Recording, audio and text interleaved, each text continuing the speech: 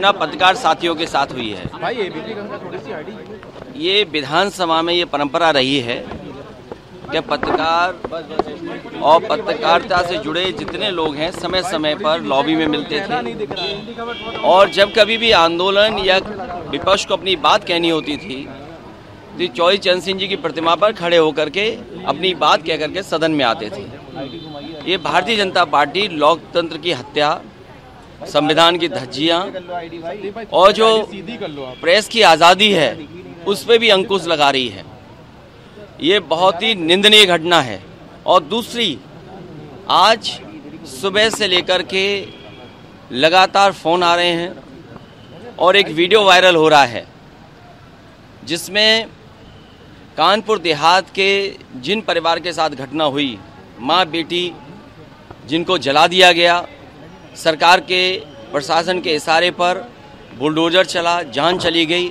उसके भाई का वीडियो वायरल हो रहा है, जिसमें कपड़े उतार दिए हैं और नंगा कर करके पुलिस खड़ी कर रही है। अगर अर्ध नगन किसी के भाई को खड़ा कर देंगे, किसी के बेटा को खड़ा कर देंगे, ये कहाँ का लोकतंत्र है? आखिरकार भारतीय जनता पार्टी क्यों ऐसा कर रही है? भारतीय जनता पार्टी ये व्यवहार क्यों ऐसा कर रही है? इनकी सरकार में अधिकारियों पर अंकुश क्यों नहीं है? अधिकारियों को ये खुली छूट क्यों दी है? जो भाई, जो बेटा, जो पिता का पुत्र इस तरीके से अर्धनग्न किया गया है। ऐसे अधिकारियों के खिलाफ सरकार क्या कार्रवाई कर रही है?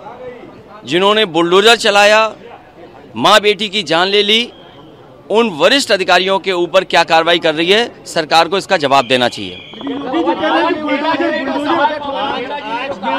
बुलडोजर की वजह से निवेश देखिए, मुख्यमंत्री जी इन बातों को नहीं जानते हैं कि दुनिया में जब कोई पुलिस के माध्यम अर्धनगन कर दिया जाएगा, अगर पुलिस ये काम करने लगे, अधिकारी ये नंगा करने लगे तो कहाँ से निवेश आएगा? और निवेश आने की बड़ी बड़ी बातें जो सरकार कर रही है, पहले सरकार को ये बताना चाहिए, कानपुर देहात में, कानपुर में या पूरे उत्तर प्रदेश में कौन सा निवेश ये सरकार लेकर के आई है?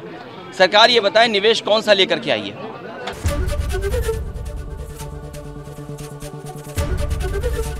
एबीपी गंगा, खबर आपकी, जुबा आपकी।